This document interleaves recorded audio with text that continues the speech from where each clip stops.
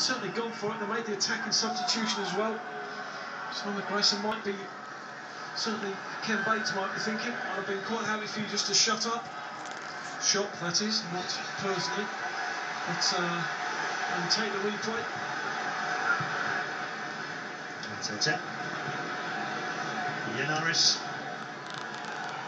Two came across. The moment of tackle. Five minutes plus stoppage time to go.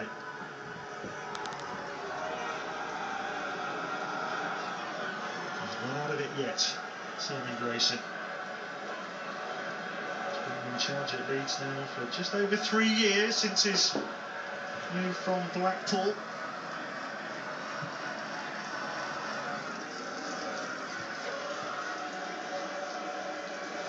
Just over half of his games in charge.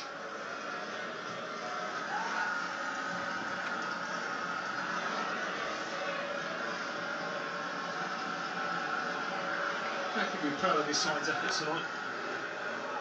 Think they showed really good resilience. He's had to make a few changes, has to make a judgment call on the rest of his season as well. The importance of trying to get out of the championship, which is always a tough ask. And under a bit of pressure with recent results, his team, especially his young players, have come tonight and really tried for it. Well, Sellers done well there. The callback would have been offside, but left it. Chesley leaves that one, and uh, Tarzan can only slice it behind. This was the moment, Matt. Just could, that could be any time in the last 10 years.